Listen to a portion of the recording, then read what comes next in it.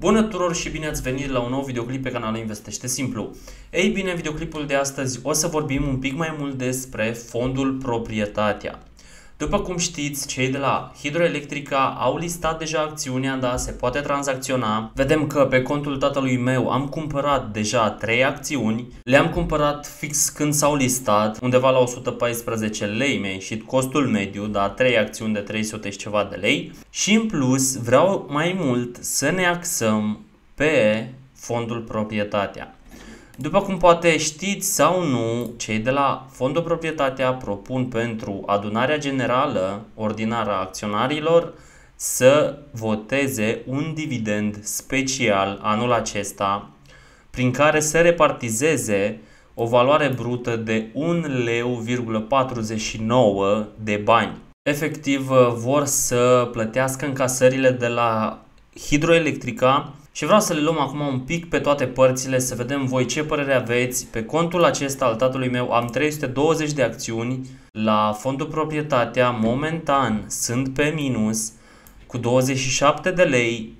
Nu știu încă exact ce să fac cu aceste acțiuni. Cel mai probabil cred că o să le țin pentru că o să primim un dividend de 80% aproape din acest preț, da? pentru că ei distribuie 1 leu 49, după cum vedem aici, și prețul acțiunii în momentul de față este de 1 leu 89. Eu acum am costul mediu de 1 leu 96.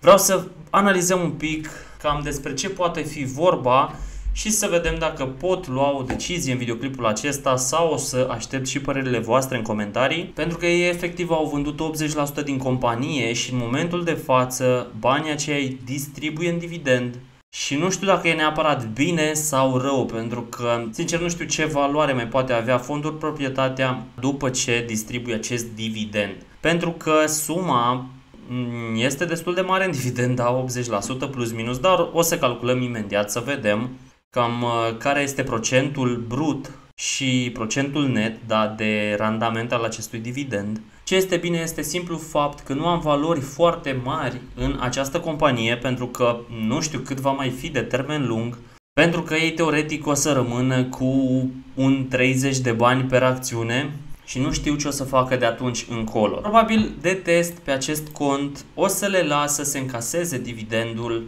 nu știu, încă nu sunt hotărât, mai avem oricum destul de mult timp de gândit pentru că ex-date-ul propus de ei este în 7 septembrie, data plății este în 29 septembrie, da? Deci cumva mai avem timp să o luăm pe toate părțile, să văd și părerile voastre în comentarii pentru a-mi face o altă idee, voi ce faceți? Cei care aveți mai multe acțiuni la fondul proprietatea, ce faceți? Mențineți acțiunile, așteptați să luați dividendul și după aia vă descurcați cu această acțiune care nu se știe 100% cât de profitabilă va mai fi pentru că hidroelectrica cumva o ținea în spate, îi ținea toate cifrele da? și o menținea acolo în top dar o să vedem cu timpul. Vreau să calculez aici dividendul brut și net de la fondul proprietatea, pentru că vreau să ne facem niște idei, da?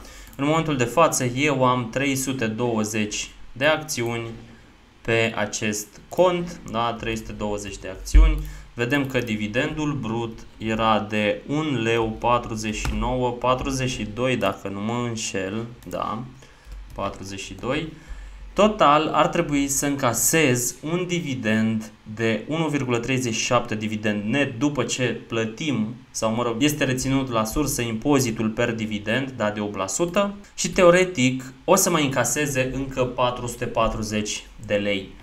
Nu știu sincer în momentul de față ce să fac, dacă să vând aceste acțiuni pentru că oricum sunt pe minus în momentul de față cu 27 de lei sau efectiv încerc, risc să zic, le mențin și încasez dividendul de 470 de lei, da?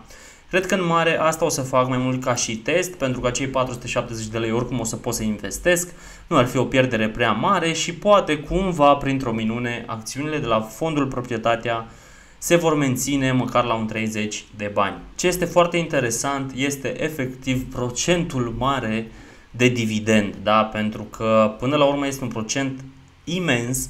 Vreau să-l calculăm acum împreună cu voi, să vedeți, poate unii dintre voi nu știți exact cum se calculează. Vedeți că în momentul de față prețul celor de la fondul proprietate este de 1 leu, 898 pe acțiune, da? Deci 1,898, atâta este prețul pe acțiune, iar dividendul pe care ei o să îl distribuie, sau mă rog, se va discuta acest lucru, este de 1 leu 49,42, îl avem și aici, 1,4942 și o să calculăm în felul următor. O să împărțim dividendul brut la prețul per acțiune și ne va da undeva la 0,78 și dacă ar fi să-l transformăm în procente, ar fi 78,72% în dividend brut. Da, deci o sumă imensă, dar chiar dacă este suma asta așa mare în dividend, da, acest procent chiar este imens de aproape 80% în dividend, e ceva probabil nemai întâlnit. După cum vedem, prețul acțiunii a început să scadă. Pentru că lumea începe cumva să se gândească, bă, bun, iau dividendele, dar cu restul de bani ce fac? Pentru că sunt șanse ca fondul proprietatea să se ducă destul de mult în jos. Ce știm cu toții este următorul lucru, tot timpul după ce trece un ex-date, prețul pe acțiune scade fix cu prețul dividendului, da? În acest caz, acțiunea va trece fix în data de ex-date cu minus 1 leu,49. Și de acolo încolo este un pic de, de gândit ce se va întâmpla de fapt cu fondul proprietatea. Pentru că în momentul de față nu știi exact ce să zici. Pentru că aveau un earning per share relativ decent, da? un dividend micuț, dar cumva constant. Nu știu ce alte companii mai pot susține performanțe măcar în procente față de prețul pe acțiune care o să fie, să rămână cumva procentele la fel, da, să fie cam la fel de rentabilă. Nu știu, sunt curios voi ce părere aveți. Dacă voi aveți mai multe acțiuni la fondul proprietatea, spuneți-mi vă rog ce faceți sau ce alegeți de fapt să, să faceți în continuare.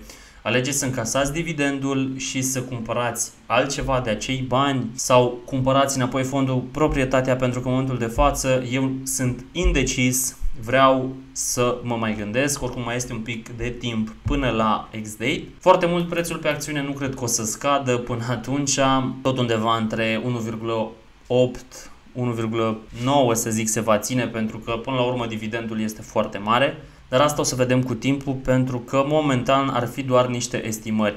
Eu pe contul mare 100% nu o să fac nicio schimbare în portofoliu doar pentru a cumpăra fondul proprietatea ca să încasez acest dividend pentru că nu văd și nu are niciun sens să fac treaba asta în momentul de față. Dacă aș vinde orice acțiune de la mine din portofoliu în momentul de față, nu aș face decât să risc anumite sume și poate n-au niciun sens. Până la urmă, cred că o să rămân, zic asta așa în mare, pentru că nu știu 100% ce o să fac, dar în mare cred că o să fie în felul următor. O să țin aceste acțiuni ca să încasez dividendul și cu restul de bani probabil o să cumpăr la alte companii, da? Ca un mic bonus la Hidroelectrica am cumpărat 3 acțiuni fix la listare, am mai lansat un ordin de 100 de lei, tot de 3 acțiuni, pentru că deja depășește de 300 de lei și clar acolo este și comisionul, intră deja pe procent și mi este ok. Și vreau să las acești 1300 de lei să fac o formă de dollar cost average pe hidroelectrica. Cred că o să cumpăr la un două luni de zile câte trei acțiuni, da, pentru că până la urmă nu mă grăbesc, anul acesta nu o să mai prind niciun dividend pe contul tatălui meu și prefer să cumpăr cu timpul. Am cumpărat, chiar când s-a listat, am cumpărat trei acțiuni ca să fie pe cont, da, pentru că aveam ceva bani, 1700 de lei și acum vreau să cumpăr efectiv o dată la o lună, la două luni, dacă cumva se ia acest uh, ordin, probabil o să mai cumpăr încă 3, nu știu, o să văd. Cel mai probabil dacă o să încasez și dividendul de la fondul, proprietatea, o să-l redirecționez tot în zona de hidroelectrica sau, de ce nu, OMV Petrom, în cazul în care o să fie un dividend special. Sunt curios tu ce părere ai despre acest dividend al celor de la fondul proprietatea. Eu sincer cred că americanii, de fapt, vor să-și scoată banii din fondul proprietatea și să investească în alte zone.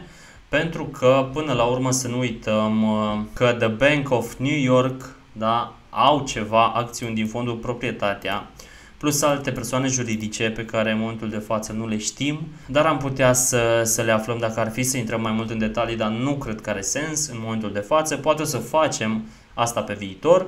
Nu știu exact de ce s-a ales acest lucru, de ce s-a ales să se distribuie un dividend în felul acesta, pentru că eu sincer cred că odată ce distribui dividend de 80%, ținând cont că dintr-un portofoliu pe care tu l-ai avut, să zicem, 100% a fost un întreg, tu ai dat 80% din acel portofoliu, teoretic afacerea ta se duce de râpă, nu știu exact ce au ei de fapt în cap, ce vor să facă, pentru că nu au reinvestit acel profit și efectiv vor să marcheze profitul și să-l retragă în dividende, da?